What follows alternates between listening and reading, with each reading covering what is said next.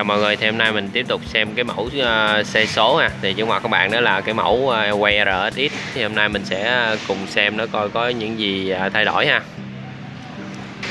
Thì trước khi mà mình xem cái vấn đề đó thì mình xin nhắc lại chút xíu về cái mẫu quay RSX này. Thì quay RSX thì năm 2020 thì Honda họ sẽ thiết kế lại cái bộ uh, áo mới.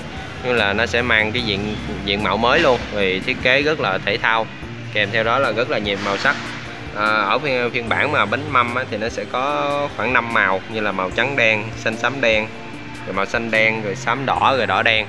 Thì như cái ờ, màu này là màu đỏ đen nè.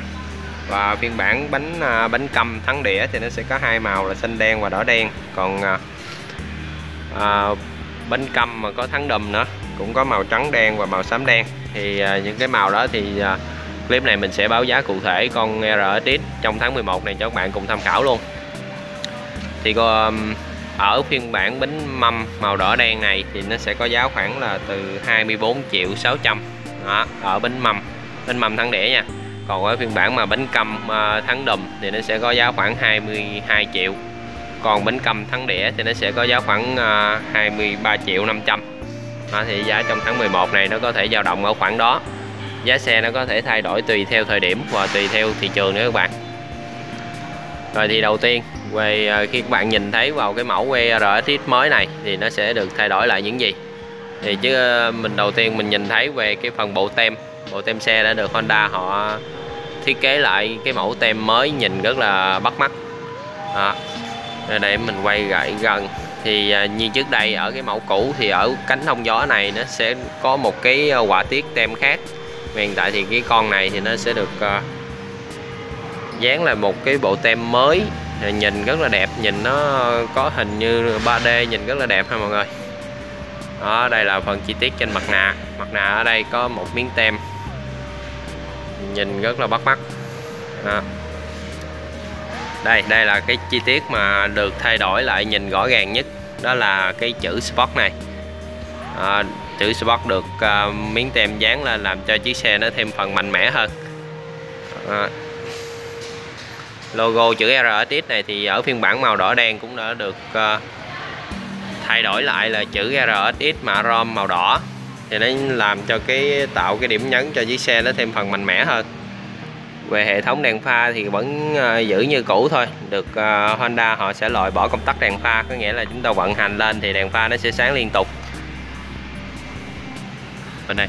Thì ở cái uh, phiên bản này thì sẽ uh, Honda họ kết hợp là cái con uh, heo dầu trước màu đỏ thì nó tạo điểm nhấn cho chiếc xe thêm à, nổi bật hơn thôi. Thì nhìn chung ở cái mẫu que QRX này thì mình cũng thấy không có gì thay đổi nhiều, chỉ à, thay đổi cái duy nhất đó là bộ tem xe. Sẽ được à, trang bị một cái bộ tem mới, đó là nhiều cái chi tiết quả tiết khác được dán lên cái dòng xe này. Còn như còn những thứ còn lại thì nó sẽ được giữ như cũ, như là về động cơ hay là tiện ích như là khóa điện sẽ tích hợp uh, mở yên ở trên ổ khóa chính là ba trong bốn trong một. Về mức tiêu hao nhiên liệu này kia thì cũng y như trang như vậy thôi không có thay đổi gì nhiều. Công tắc đèn pha thì được loại bỏ. Thì ở dòng SDX ờ, GDX năm 2020 khi mà lúc mới ra mẫu mới này thì cũng đã được uh, trang bị những cái uh, tiện ích đó rồi. Cho nên cái mẫu này thì không có gì thay đổi nhiều chỉ có phần là nó sẽ thay đổi lại bộ tem thôi rồi thì um, mình xin nhắc lại đó là nó chỉ thay đổi về phần bộ tem và cái giá ở con que RX này thì nó sẽ dao động trong khoảng 24 triệu 500 ở cái con que RX này ha.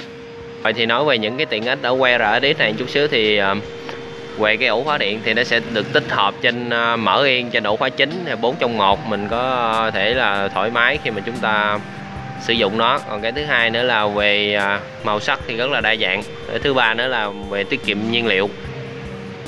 Thì cái con GTX này nó sẽ à, vận hành là khoảng 1,70 lít trên 100 km thì về tiết kiệm nhiên liệu thì dòng RTX này thì à, khỏi phải bàn rồi.